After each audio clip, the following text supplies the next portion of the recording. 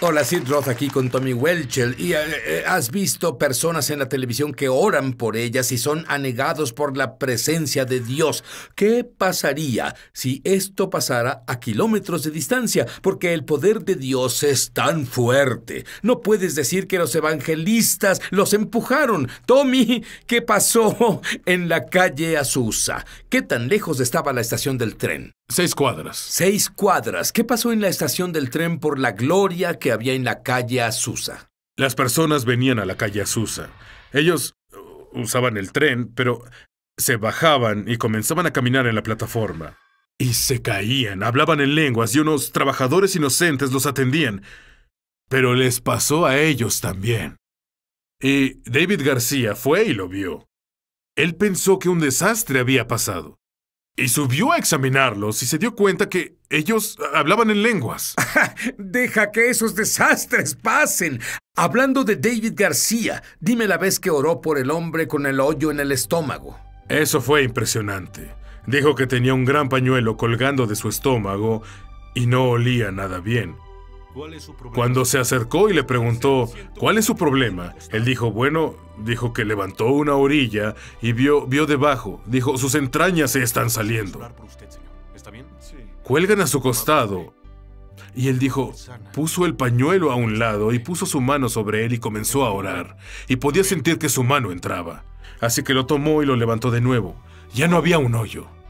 Solo se cerró. Se cerró. Frente a él. Sus entrañas volvieron a su estómago y se cerró. Y, y, sabes, una de las cosas que me impresiona, Tommy, muchas de las personas que Dios usaba eran jóvenes, 17 años y 18 años. De 11 años. ¿11? Dime sobre uno de 11 años. Ralph Riggs. Ralph dijo que uno de sus más grandes milagros y e, e, era un viejo borracho que vino de las calles. Apestaba a alcohol. Un hombre gigante de un metro noventa, tal vez cien kilos. A Ralph no le gustó, pero de pronto se acercó y se dio cuenta que el hombre era ciego. Totalmente. Y tuvo más compasión, se acercó y dijo, ¿para qué viniste aquí? Él dijo, bueno, las personas me dicen que las personas entran aquí y que son sanadas. Y dijo, quiero ser, quiero que mis ojos sanen. Y le dijo, bien, oremos. Él oró por el hombre. Sus ojos sanaron. Incluso el olor a alcohol se fue. Y luego, por el medio oeste, tuvo grandes campañas con las asambleas de Dios. Incluso en mi pueblo natal. Estableció una iglesia ahí. Y sabes qué es tan maravilloso. Tommy no solo oyó estas historias milagrosas, también esos ancianos mantuvieron su unción y en realidad viste milagros suceder frente a tus ojos. Dime uno.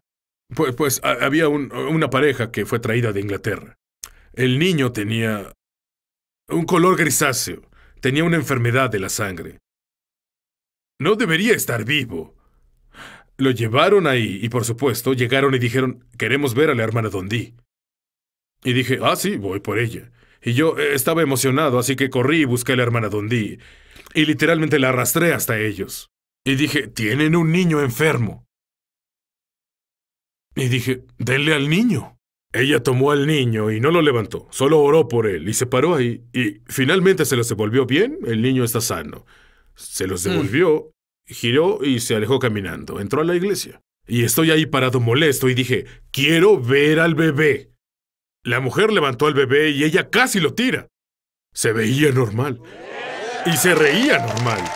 Así que jugué con él y la pasamos muy bien. Ah, ¿Sabes qué creo que es maravilloso? Tommy a veces cuando él ora por las personas, ah, él ora por la impartición y otros oran. Dime sobre Banning, California, la niña de 13 años. La pequeña niña. Amo esta, esta historia porque es un avivamiento que se desató después de que me fui. Su, su pastor, un pastor de jóvenes, se lesionó la pierna jugando fútbol y tenía yeso. Cuando yo hablaba, me bajé y me senté en cierta área y dije, ahora ustedes ahí arriba, oren. Y dije, hablo a los jóvenes, tanto como de los mayores, oren Y si Dios les dice, los guía a orar por alguien, obedezcan, bajen y oren por ellos. Una pequeña se levantó y parecía tener 10, pero tenía 13 años. Caminó e impuso sus manos sobre ese hombre. Y de pronto él comenzó a sacudirse y quería quitarse el yeso. Le quitaron el yeso y comenzó a danzar por toda la iglesia. Me tomó un rato acercarme a ella. Todos enloquecían. Y dije, querida, ¿cuántos años tienes? Ella dijo 13. Dije, ¿sabías que puedes hacer eso? Donde sea, cuando sea.